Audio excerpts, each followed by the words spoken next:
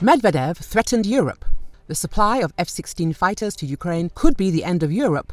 Commenting on the West's decision to supply F 16 fighter jets to Ukraine, the Russian Security Council's deputy chairman Dmitry Medvedev advised Europe against becoming too carried away with its toy plane games.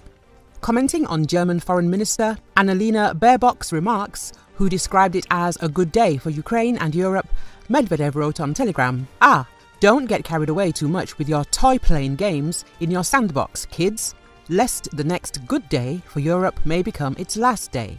He attached a photo of downed Nazi Germany plane to the post. Ukrainian President Vladimir Zelensky said earlier that a breakthrough agreement had been reached on the supply of 42 F 16 fighter jets from the Netherlands.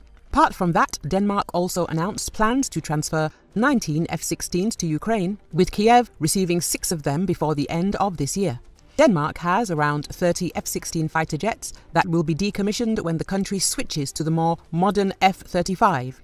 The Dutch Air Force has 42 such jets. Denmark and the Netherlands have already announced plans to train Ukrainian pilots with assistance from nine more countries. Ukraine's existing Air Force fleet is made up of aging Soviet era aircraft. The F 16s will offer far greater firepower, helping to defend against Russian jets, missiles, and drones. The F 16 also offers Ukraine the ability to safely strike targets hundreds of kilometers away, deep in Russian controlled territory. That's vital if any ground offensive is to succeed.